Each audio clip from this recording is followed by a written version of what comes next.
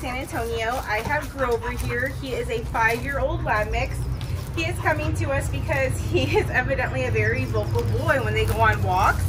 He has really bad leash manners. He pulls really strong. Um, he seems to be really sweet though. He loves belly rubs. Um, but I want to go ahead and see what I can get him to do for me right now. Grover, come. Oh, what a good man. All the way. Grover, sit. Grover, hey, sit. Sit. Grover, come. Grover, come. Sit. Sit. Okay, down. Hey, hello. Down. Down. Grover, place. Grover, place. Grover, place. Grover, heel. Grover, heel.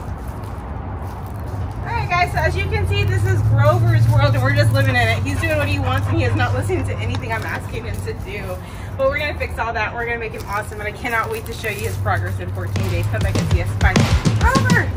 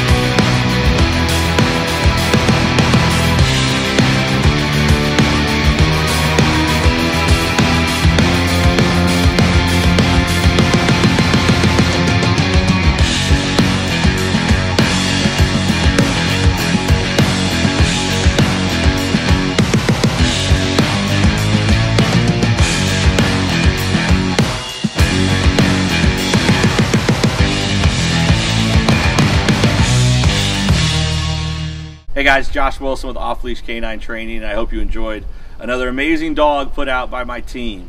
Uh, across the country, we don't care about the breed, the size, the age, or the behavioral issue. We're going to make them awesome for you. If you're interested in seeing more videos like the one you just saw, click the image here on the screen. Also, I'd encourage you to check us out on Instagram and Facebook. And before you leave our channel, make sure you subscribe. So every time a new video comes up of another outstanding dog doing some crazy, amazing things, you're going to get notified in your email address. And for more information on other locations we have around the country, check us out at joshwilson.dog. Appreciate you so much for watching our channel. See you soon.